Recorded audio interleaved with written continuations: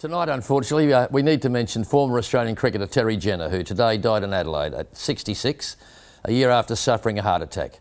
Terry, a leg spinner himself, played just nine tests, but he made a far bigger contribution to the Australian game as Shane Warne's long-time coach. Like the rest of us, not perfect, Terry Jenner was a colourful character, the kind we don't like losing.